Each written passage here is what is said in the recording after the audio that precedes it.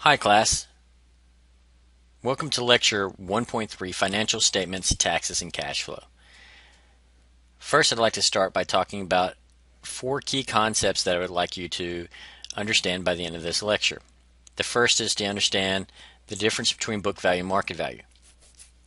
Now book value is really nothing more than the historic purchase price of uh, an asset. So what did you originally pay to acquire that asset? Market value is more what could I sell it for today? There's a major difference between those two, and in my opinion, book value has a whole lot more to do with accounting, whereas market value will have a whole lot more to do with finance, and I'll explain that more throughout the lecture. Speaking of accounting, uh, I'd also like you to know the difference between accounting income and cash flow. Now, accounting income really talks more about the net income after you've paid taxes and and any other things that might be used to decrease the amount of income that you owe for taxes, such as depreciation. Also, you have some interest considerations. Whereas cash flow really refers to actual money on hand. So, what money does the company actually have to, say, give back to shareholders? Or to spend on purchasing new plant, property, or equipment? Or maybe even new inventory to sell. So, one of the major concepts for that second point is to really understand the difference between cash items and non-cash items like depreciation that will drastically change the way that uh, we look at specific financial statements. We're also going to look at the difference between average and marginal tax rates. A lot of people are somewhat confused at what tax rate they would actually pay, and so hopefully after today's lecture you'll have a better understanding there. Average, though, is really taking an average, right? So you're going to take the total amount of tax that you've paid divided by your total income, whereas marginal tax rates are really just talking about the amount of tax payable on the next dollar earned. Okay, so what tax bracket, what marginal tax bracket are you currently in? And then how to determine a firm's cash flow from its financial statements. Cash flow is obviously an extremely big topic uh, in finance, and we will delve somewhat into that topic into this class and even into this lecture. But hopefully it won't get too confusing. So once again, these are the four concepts that I would like you to learn after completing this lecture. The balance sheet is one of the main financial statements that any student should know when studying finance. Sometimes at this point I like to embarrass myself and say, shake it like a Polaroid picture and obviously I butchered that. But nonetheless, the point is is that the balance sheet is very much like a Polaroid picture. It's a snapshot of a firm at one moment in time. We're also going to talk about the income statement later, and it's more like a video recording over a period of time. So, once again, the balance sheet is a snapshot of what the firm's current structure looks like at one specific moment in time. On the left hand side of a balance sheet, you would see the assets, and on the right hand side, you see the liabilities and owner's equity. That goes back to that basic fundamental accounting equation that assets equals liabilities plus stockholders' equity or owner's equity, however you want to say it. One interesting point to point out is that assets are usually listed in order of decreasing liquidity. So, for example, cash would be the most liquid, so it would be listed first. You have accounts receivables, then you will have any other current assets up to inventory. Then you're going to get into your fixed assets such as plant property and equipment. We will also talk a little bit about intangible and tangible assets. So you may have some intangible assets like brands that are also listed in there. On the right hand side, you would start with liabilities, and they're going to be listed in the order of which one has to be paid first. So your current liabilities would go before your long term liabilities, and the one that has got to be paid off first is the one that's going to be listed higher. So if you've got an accounts payable uh, that's due within the next three months, it would obviously be higher than a 30 year loan that you've taken out with a bank. Regardless of which order items are listed, all the assets on the left hand side do have to balance with all the liabilities and owner's equity on the right side. That is the reason we call it the balance sheet. This figure right here should show you an illustration of what a balance sheet would look like. You're going to have obviously the assets on the left and the liabilities and the shareholders' equity on the right. The one neat thing that this figure shows, in my opinion, is it, it really does a good job of explaining net working capital. Net working capital is an equation that everybody should memorize. Obviously, you don't have to memorize it. This is kind of an online class. But net working capital is current assets minus current liabilities. It's a short term equation and lets you kind of look at whether or not the company looks good from a financial standpoint, especially in the short term. Another thing I like to mention is the difference between tangible and intangible assets. Obviously, a tangible asset would be like a, if you're a UPS company, you may have some trucks, you may even have some airplanes or, or whatnot. You're obviously going to have some warehouses and things of that nature. These are actual real assets that you can find and you could possibly uh, put a price tag on and sell. Very tangible, you can touch them. Intangible assets, though, are often hard to put your finger on. They're not necessarily you, you know that I can go right out and touch them. Uh, examples are trademarks and patents.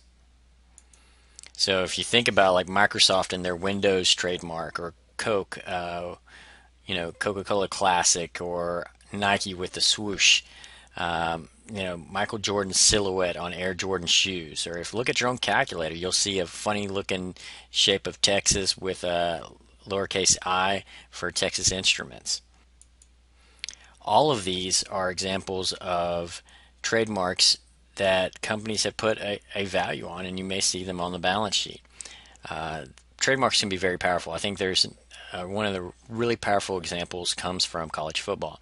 It wasn't too long ago, if you think about uh, the Big Ten and the Big 12, both spent tons of money branding their conferences as Big Ten or Big 12. Uh, but mathematically, you think that something was wrong because the Big Ten, for a while there, had 12 schools and the Big 12 still has 10 schools. So one of the interesting things is that um, even though those numbers change, that those schools try to hold on to that specific number because it was wrapped up in years and years and years of branding and tradition. Moving on to the next slide about the balance sheet, you will see that it says net working capital at the top. And we've already talked about net working capital as the current assets minus current liabilities. So this is the equation, and it usually is a healthy sign for a company if that number is positive. So anything above zero is what you would hope for. So that would mean that you are technically covered from a short term perspective. However, how high would you want that number to be? Well, we will talk about that number once again when we're talking about ratios. We talk about the current ratio. Um, it's a similar idea as net working capital, but it, it instead puts current assets over current liabilities. Nonetheless, you definitely want it to be positive. However, you might not want it too high, and we'll talk about that in a little bit. You've also heard me mention liquidity, and just to make sure everybody's on the same page, this is how fast you can get rid of something or sell it, and you know, whether or not you can sell it for what it's worth. When times get tough, sometimes it's really important to have liquidity. This is why after that last recession, major recession in the 2007 2008 period, a lot of companies began to hold quite a bit of cash on hand just in case they needed it because of any potential financial distress in the future. A good example of liquidity would be the difference between having a pawn shop and having a tree farm you know, everything in a pawn shop should be priced pretty much to, to go. Very liquid assets are in a pawn shop. People bring those stuff in, and you know, the owner of that pawn shop would like to flip that stuff uh, at a reasonable profit, but it's very very liquid items. However, tree farm is one of the more illiquid investments you can make because real estate, first off, is very illiquid, but then also growing trees is extremely illiquid if you're going to wait and properly harvest them. Sometimes that can take uh, that process can take decades. That being said, I should note that liquid assets often earn a lower return so if you think about cash, cash isn't going to make you much money. You put it in a money market fund, it's going to make you a little bit more, maybe a CD or something in that nature.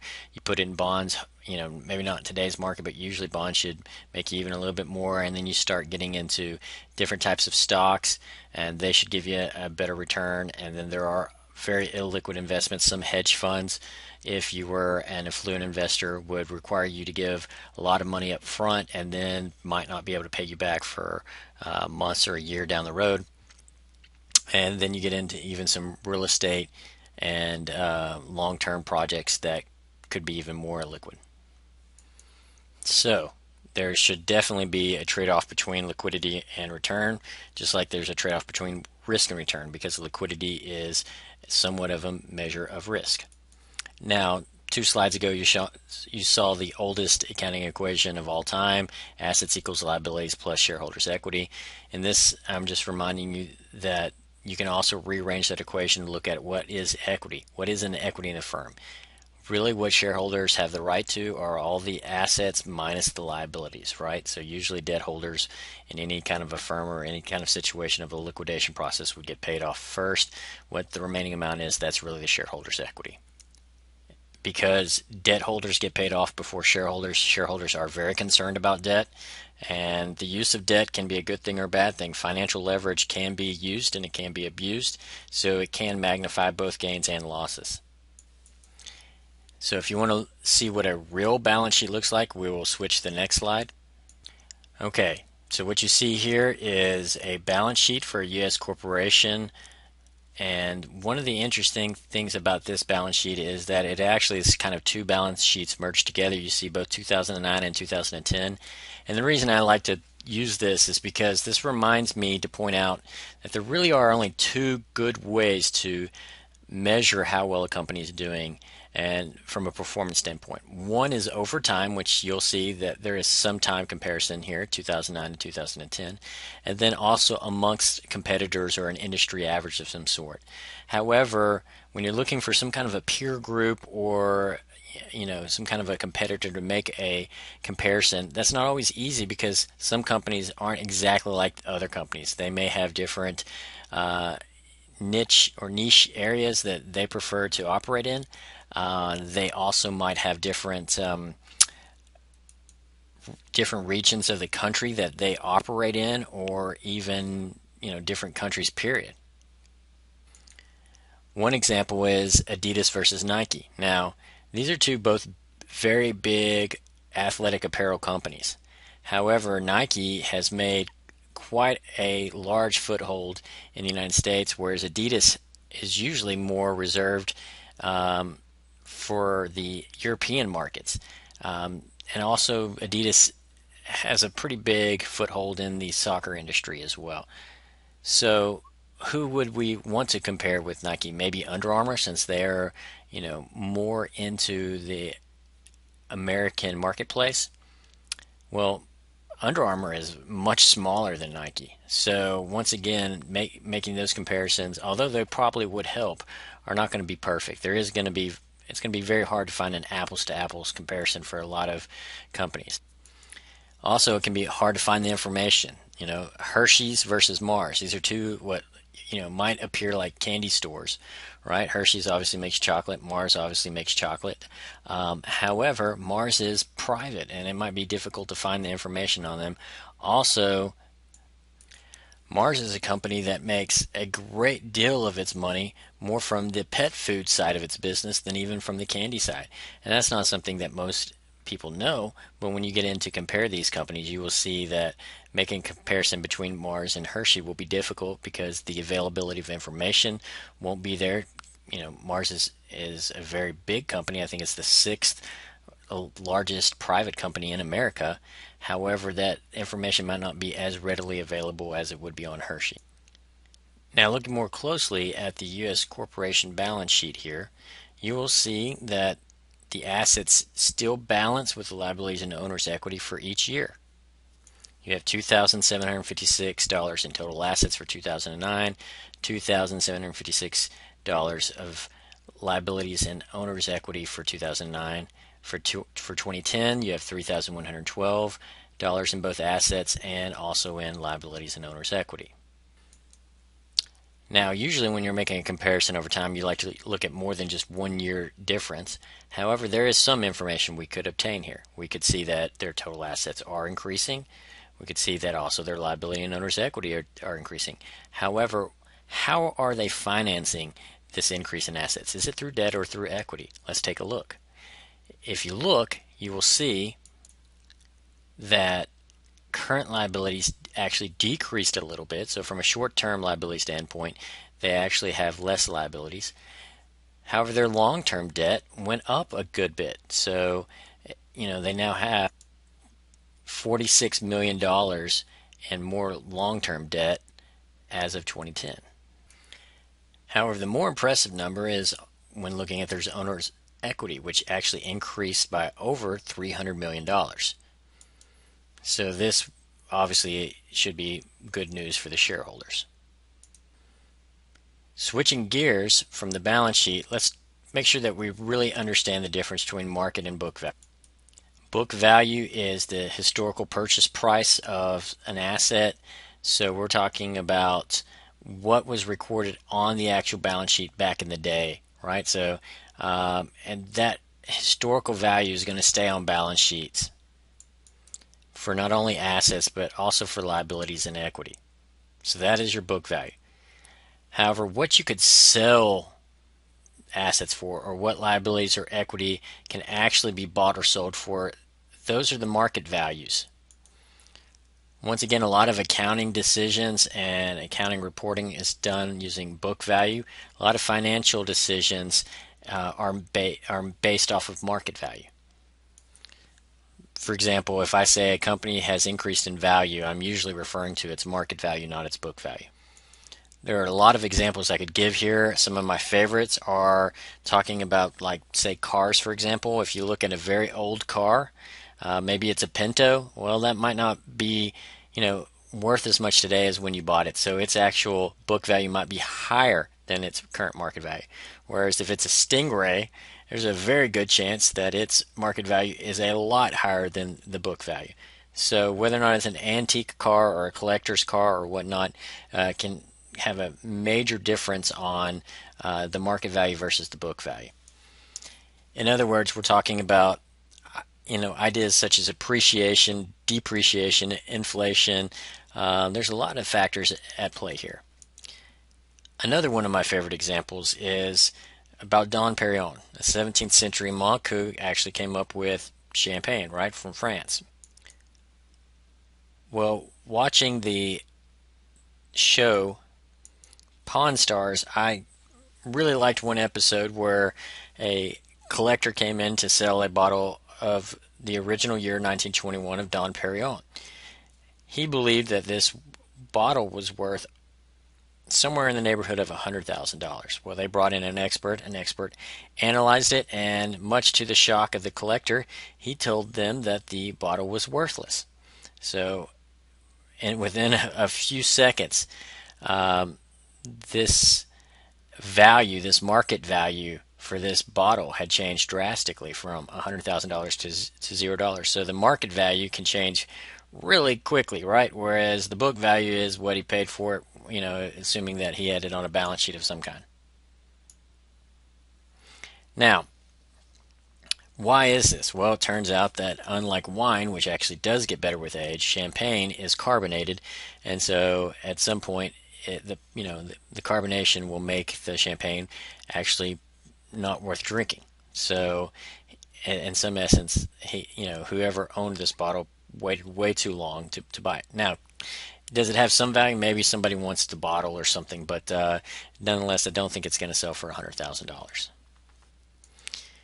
One final example are railroads. You know, if you think about railroad companies, they've been out around for a very long time. Now, railroads have a lot of land assets on their books. Why they bought up a lot of land to put, you know, the railroad tracks through. Now, this land, when they purchased it, was far cheaper than what it would be worth today if they sold it. So, in a lot of ways, the book value of railroad companies will look substantially lower than their actual market value because they hold some very valuable land assets. For example, if you take a look at this Klingon Corporation balance sheet, obviously that's a ode to you Star Trek fans out there, right? I kind of almost wanted to say Star Wars just to make somebody go crazy, but obviously it's Star Trek, right? If you look, what you'll see on this balance sheet, instead of breaking it up by time, it's broken it up as a book column and a market column. And one of the things that you will notice here is that the assets are worth more from a market value standpoint than from a book value standpoint. But if you're going to balance it that way, you got to balance it the other way as well. So uh, you can balance a, a, a balance sheet using both book values and market values. Now, how would you go about balance, balancing the right side of a balance sheet from a market value standpoint? Well, this gets us to the idea of a plug variable. In this case, uh, knowing what the market value of your assets are, $1,600, you have to put that as your total for debt and equity under the market value column. You also will know what your long term debt is. I mean, it is fixed. You notice $500 for book and $500 for market value. However, equity is the plug variable. So in this case, since your your long-term debt didn't go up, you get to add all of that extra value in the form of equity. So the equity made a big jump from 600 to 1100. In other words, the actual market value of shares is almost double what is shown on the books from a book value perspective. So I think this is a good time to switch from the idea of balance sheets, which are once again that snapshot in time, to more of a video stream over a period of time, which we will call the income statement. The income statement is a statement that's going to measure performance over a specific period of time. You, know, a lot of times we'll look at just an annual income statement, but it could be over, you know, like a quarter or a month or pretty much any period. But it has a, you know, a starting time and an end time, not just one moment in time like a balance sheet. Just like a balance sheet, though, this is going to be a financial statement that's usually prepared using generally accepted accounting principles, sometimes called GAAP. Uh, and there are going to be specific rules for how you will actually create an income statement. The first thing you're going to do is you're going to find out what are your revenues, right? So what's the revenue model for this company or whatnot? How much, when I talk about revenues, what we're really talking about are sales. What were your sales? And after that, you're going to take out any costs that were associated with those revenues so that you can figure out how much money you're making. The end result or bottom line is often called net income. Sometimes that's also called earnings. So in this class, anytime you see uh, an E, be careful of whether or not we're talking about equity or earnings. Uh, sometimes it's safer to write NI for net income. But net income and earnings should be the, the same thing. Now, from that, once you have your net income, you have to remember when I uh, showed you guys that uh, figure that had a whole bunch of arrows, A, B, C, D, E, F, and it showed you where cash flows were going. Well, one of the things about net income is now that you've got it, you have to decide where to go. Should you plug it back into the company so that the company can grow? That's called retained earnings. Or should you kick it out to your shareholders in the form of dividends? So that's why you get that income statement equation at the bottom. Net income is going to be uh, revenues minus expenses. However, if I was going to also throw an equation on there for net income, I could say net income is equal to dividends plus retained earnings, right? So in some cases, you can look at net income as the final stop in an income statement, or you can say that there's actually one more step if you want to talk about what happens to that net, income. Are you going to, you know, use it to grow the company in the form of retained earnings, or are you going to kick that money back out to the shareholders? Sometimes it's easier to show you an income statement than talk about one. So let's take a look almost every income statement will work this way, and I, it would probably be in your best interest to kind of memorize the flow of a net income statement. You're going to start with sales, then you're going to go to cost, and you know a lot of times that's called cost of goods sold, or what I would write is maybe just CGS for cost of goods sold, and then you're also going to take out depreciation. So you'd have your net sales. You would, in this case, that'd be the 1509. Then you'd subtract out the 750 and subtract out the 65 of depreciation, and then you have what's called EBIT or earnings before interest and taxes. Then you take out the interest that you paid on your debt. And now what you would have is your earnings before taxes. Okay? We all have to pay taxes. So then after you take out the taxes, what's left over is your net income. Now if you notice, uh, there's a double line there for net income because a lot of times that's where an income statement will stop but you can then further break that down into how much of that net income goes to dividends and how much goes to retained earnings. In this case, 103 goes to dividends and 309 goes to retained earnings. One important observation to make is where is depreciation? You notice that it is right after cost of goods sold, meaning it's before taxes. So although depreciation is kind of a, a non-cash item, meaning that we're not technically having to pay for it, uh, it it gives you somewhat of a tax break because it comes before taxes. So this is one of the advantages of depreciation as somewhat of a tax shield. So once again, you'll hear me mention this GAAP, generally accepted accounting principles. Well, there is a matching principle with the income statements. And essentially what you have to do here is recognize revenue when it accrues. You also have to match expenses required to generate revenue to the same income statement, not necessarily the same year. In other words, if you build boats and it takes you 15 years to build a boat, uh, and then you sell it in that year, then you want to match those costs and the sales in the same year. Also recall that I just explained that depreciation was an interesting observation. Well, it falls under the category of non-cash items. And the reason this is important is because depreciation doesn't necessarily affect your cash flow. So one major point is that you could have a negative net income but still have a positive cash flow because you let depreciation reduce uh, your revenues to the point that after taxes you did not have a positive net income. In other words, accounting income and cash flows are not necessarily the same and they can very easily be different. And one of those main reasons why is depreciation. I'd also like to take a minute to talk about time and cost. Now, fixed versus variable cost is a concept that not everybody really understands. Obviously, your fixed costs are static and your variable costs will change based on whatever it is that your business does and how much of that product that you sell or service that you do. But another way of saying that is, you know, sometimes you can say that, well, in some cases, all costs are variable because uh, eventually, you know, you're going to even replace things like uh, a plant or something like that as well, right? So uh, don't get too hung up on the ideas of fixed versus variable cost. I think an example here could probably explain it pretty well. My dad is an OBGYN. He runs his own practice. Now, He's one of the few doctors that still does, even with the regulations getting tougher to understand.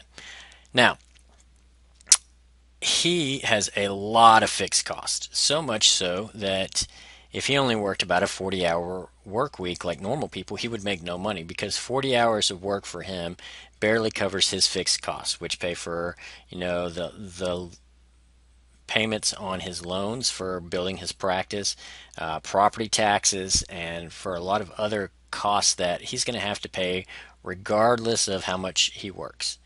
Now, his variable cost, in some ways, will change based on how much he works.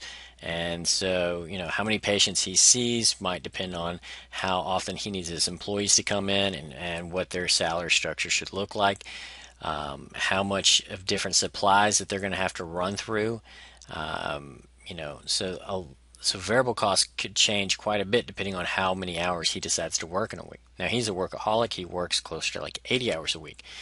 Um, so you know the 40 hours a week will cover his fixed cost and then you know maybe another 20 hours covers his variable cost. And so those last 20 hours are where he makes all of his money. And he makes a good bit of money but that's only because he understands the difference between uh, fixed costs and variable costs and he's willing to make the sacrifice to make sure that he clears his variable costs too by quite a bit. I'd also like to talk about earnings management. Now there you'll see there that one idea is smoothing earnings and another is this idea of wiggle room. All I really want you to understand here is that the accounting practices do leave uh, some ability to maneuver numbers to where they are somewhat smoothed out over time, or whether or not you take losses in a you know one specific period versus another, so that uh, a lot of times what you're these CEOs or anybody involved in earnings management is trying to do is just to show steadily increasing earnings because that's what investors like to see. Little drops, you know, and big drops really scare investors. If you're interested more about some of the information on publicly traded companies, once again, you can work the web. You can find all kinds of information about companies such as their 10Ks and a, a you know a wealth of uh, financial statements on uh, the SEC websites at edgar.gov is a really good website that's going to give you the, this information.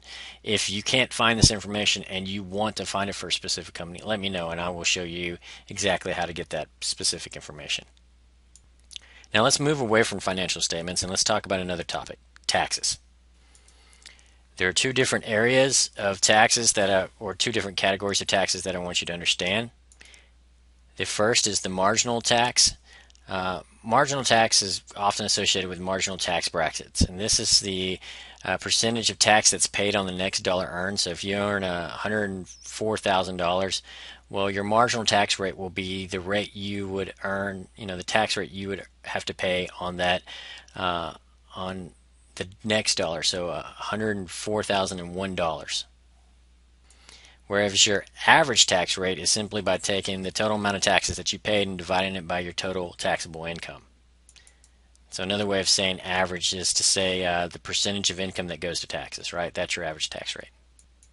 So let's look at this uh, question here. If I'm considering a project that will increase taxable, taxable income by $1 million, which tax rate should I use in my analysis? Although the answer to this question may seem somewhat confusing, the answer really here is probably better your marginal tax rate. And the reason being is because you need to go through each of the brackets. And so you'd really want to see uh, where this next $1 million is coming through in the tax brackets. I'll show you what I mean with an example here in just a second. However, I do want to point out that this is really important macro topic as well. Uh, this, if you understand marginal versus average tax rates, this might help you understand some policy decisions as far as uh, marginal tax breaks and uh, also you know tax breaks for the poor. For example, it's very hard to have a income tax cut just for the poor. With uh, one of the reasons for this is because everybody goes through the same tax bracket. So if you make a tax cut in the lowest tax bracket, you're more than likely making that tax cut for everybody because even Bill Gates has to go through the first tax bracket before they get to the second marginal tax bracket and on and on and on. Uh, there's also the argument of a flat tax. And some of you may not know what that is, but that is where there would be only one marginal tax bracket. For example, everybody would pay 25%. A lot of people um, don't believe this is fair. They believe that the wealthy should pay a higher percentage of taxes. Uh, however, a lot of people believe that this would create an incentive for uh, the rich to work hard to stay rich, uh, for the poor to work harder to become rich, and, um, so you've got to find a right balance there. And I think that's a lot about what our uh, tax policy is about. Now, getting back to the example that I promised, let's take a look at marginal versus average rates. And let's suppose your firm earns $4 million in taxable income. Well, I have three questions here for you to answer. First, what is that firm's tax liability? Second, what is the average tax rate? And third, what is the marginal tax rate? As you can see on this slide, I have broken down this answer for you in an Excel spreadsheet. Now, what's important to understand is, and this is one of the strange and almost, you know, just pure coincidence cases where the average rate and the marginal rate both came up as 34%. That almost never happens. Uh, one of the reasons for that, though, is in this case is simply the fact that uh, if you notice the tax rates, look at that middle column called tax rates, you go 15% in the first marginal bracket, 25%, second 34% in the third, 39%, and then you go back down to 34%. Uh, so there's it's not truly progressive, meaning that it just gets higher and higher and higher. It actually kind of dips back down for a little bit, and the highest bracket is actually that 39% bracket. Now, why does it do this, you might ask? Well, um, you know, I'm not saying that today's current marginal tax brackets are exactly like this example, but I will say that mathematically there's not really a whole lot of reason for that, except there was probably a lot of compromise and back and forth on Capitol Hill, and uh, this is where they, um, you know, decided these brackets should be. So we have a progressive tax system, but it doesn't mean it is continually progressive, or I should say, has to be because it could be if they wanted to make it that way. But uh, especially after we get past the $100,000 mark, there is a lot of gray territory as to what people should actually be taxed. But back to our original example, let's look at the tax liability on $4 million. What you will see in the blue columns is that one of the first things you want to do is break down your taxable income. So the first bracket is marginal bracket is for zero to fifty thousand dollars. Those are the taxable income levels. The tax rate is fifteen percent. So uh, you would take 15% times $50,000, and that's where that tax liability of 7500 comes up on that first row. On the second row, you will see you go from $50,001 to 75,000. So this is a $25,000 total marginal tax bracket. So the second marginal tax bracket is at 25%. You take 25%, multiply it by 25,000, and you get 6,250. You'll do this over and over through all the brackets till you run out of money. So in the third bracket, you go from $75,001 to 100,000. So once again, that's another $25,000 tax bracket. So you multiply 34% times $25,000 of taxable income, you get 8,500. In the fourth bracket, you get a big jump uh, of taxable income levels from $100,001 to 335,000. And this is also a big jump in tax rates, right? Uh, or I should say, at least it's at the highest tax rate uh, in this problem, right? So now you have $235,000 worth of taxable income at 39%. So you will see your tax liability jump up enormously to 91,650, right? So a lot of times when the rich say, uh, you know, they feel like they're paying more, it's a lot of times it's because they are, right? Now, whether or not they should be, that's a different discussion. Okay. Now, uh, you still have a little bit of money left over, right? Well, technically, actually, got a lot. So if you look, you look at the 335,000, right? You still got to get all the way up to 4 million. Well, that whole next bracket will include that. So how do I decide how much I should include as far as taxable income in this bracket? Well, you would take $4 million and you will subtract 335,000 right? Because you have already been taxed on your first $335,000 of income. That would leave you with 3,665,000, okay? So this the taxable income in this bracket could be much higher. However, you ran out of money at the $4 million mark. So you take 34% for your tax rate, multiply it by 3,665,000 and you will get a tax liability of $1,246,100, right? So those last two brackets are where you paid uh, most of your taxes, right? Now, uh, your total tax liability was 1,360,000. So that is how much taxes you owed your taxable income is 4 million. So if you put 1,360,000 over 4 million that's where you get 34% so that's why the average rate is 34% that's the blue uh, answer right? Now if you look at the uh, the beige or the dark beige brownish answer there uh, it says 34% as well. We'll go back up into the chart. You'll see that 34% is also uh, that same uh, in the tax rate column is also highlighted that same color. Now why is that because if you made one more dollar, if you made four million and one dollars, it would still be in that same marginal tax bracket. So your marginal tax rate is 34%. Okay, so two totally different terms that mathematically just happen to equal 34%. Please note that uh, in any future problems, that's more than likely not going to be the case. Okay. In fact, in almost all cases, your marginal tax rate is usually higher than your average rate because your average rate went through lower tax rates uh, whereas your marginal tax rate should be the highest progressive marginal tax bracket you've gotten to. So that's taxes in a nutshell, and you'll obviously um, see some other problems like that in your quiz and also in your test guide. Okay, moving to the last big concept for this lecture is cash flow. Now, cash flow, you know, I can't state this enough. It is one of, if not the most important pieces of information that you'll get from financial statements.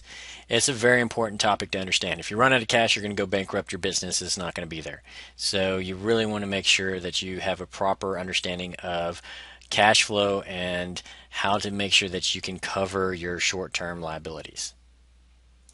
That being said, our focus here is going to be on how cash is generated from utilizing assets and how it is paid to those who finance the asset purchase. Now, to really understand cash flow, you need to have some equations in your back pocket.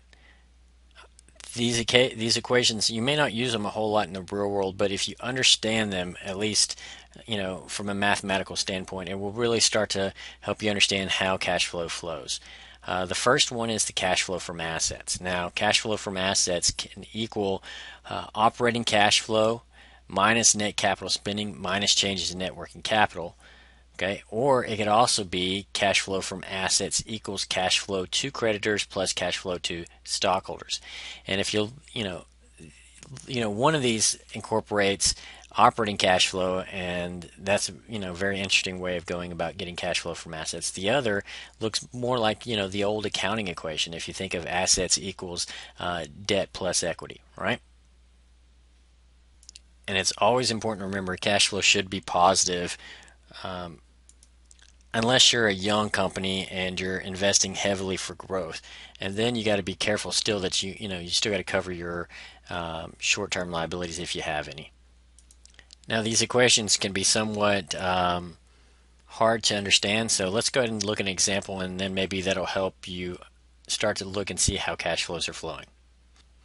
If you look at the example here, you'll see that you can you know calculate each one of the, the cash flow from asset equations using information from either balance sheet or the income statement.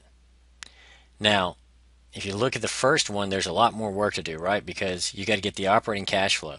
Now, the operating cash flow is a unique way to look at cash flow that's generated by the main operations of a company. You're going to start by looking at EBIT or earnings before interest and taxes, and then you're going to add back depreciation and you're going to subtract taxes, okay? Now, another way of, of writing that equation, in my opinion, is to say instead of EBIT plus depreciation minus taxes, is you could have done net income plus depreciation plus interest. Because really what you're doing is you're taking your net income and you're going to add back depreciation because it's a non-cash item and you're going to add back your interest expense because that's a financing decision not an operating decision. But regardless you can use the the OCF or the operating cash flow equation that they've shown there or my specific one which is OCF equals net income plus depreciation plus interest. It's up to you. Now if you can also look at net capital spending and that's the inventory and fixed assets over a period Okay? And you can also look at the change in net working capital, and we know that net working capital is current assets minus current liabilities. So in this case, we would look, be looking to see how that changed from 2009 to, to, to 2010. What you know you should see here is where do you get this information from? Well, for the operating cash flow, that all came off of the income statement. But for net capital spending and for changes in net working capital, uh, those that information came from the balance sheet. Okay, now that's just some math, so plug and chug, and you'll get your answer. You can also use cash flow from assets using the other equation from the previous slide, which I'll show you in here in a second. But notice here that this we calculated cash flow from assets this way is $87. So now let's look at the other slide.